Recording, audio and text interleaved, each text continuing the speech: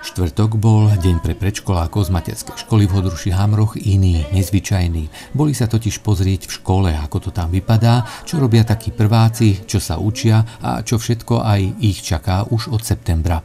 Každoročne pripravujeme pre predškolákov z tunajšej materskej škôlky Deň otvorených dverí, preto aby jednak predškoláci, jednak ich rodičia, ktorí sa zúčastnia, si mohli pozrieť, ako vyzerá taký vyučovací proces v škole, čo všetko robíme, aby si mohli pozrieť, ako to tu máme a aby sa nejakým spôsobom vedeli dobrá správne rozhodnúť pri výbere e, základnej školy, ktorá bude najlepšia pre ich deti. Prvácka pani učiteľka zapojila škôlkárov do ich vyučovania a postupne spoločne prešli ukážkami niekoľkých vyučovacích hodín. Naši prváci poukazovali škôlkárom svoje učebnice, s ktorými pracujeme. Ukázali sme im, alebo porozprávali sme im o tom, čo robíme na slovenčine, na čítaní, na písaní, na matematike. Potom pani učiteľka Sklenárová, to je tretiecká pani učiteľka, si pripravila vystúpenie kratučké, taký, taký um, malé divadelné predstavenie, domček, domček, to v tebe býva a malý tanček. Ani škôlkári sa nedali zahambiť a ukázali prvákom, čo sa zase oni naučili v škôlke. Prišli sem na to, aby nám, zavi, aby nám zavystupovali vystúpenie ich. Prišla som sa pozrieť, že aké to tu je. No a čo?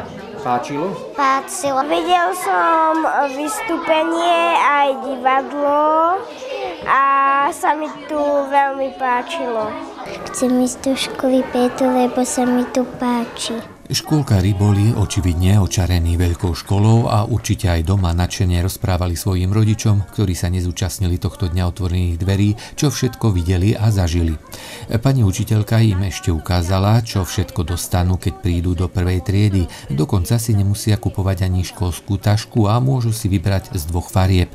Nakoniec ešte dostali malé darčeky od starších spolužiakov a sladkosti.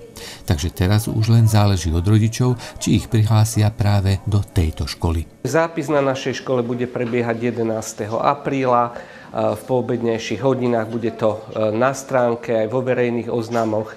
Všetci rodičia môžu sa prihlásiť, ale aj prostredníctvom elektronického formulára, ktorý na našej škole, alebo môžu priamo v deň zápisu len prísť s občianským preukazom a nechať svoje dieťatko zapísať, alebo môžu nás kontaktovať a my s tým zápisom pomôžeme. A samozrejme, každé dieťa, tak ako v minulom školskom roku, tak aj v tomto, ktoré sa zapíše do našej školy, dostane štartovací balíček, ktorý bude okrem školskej aktovky, písacích potrieb, e, nádobky na desiatu dostane v podstate všetko potrebné tak, aby náklady e, rodičov na štart prváčika na našej škole boli minimálne alebo až žiadne.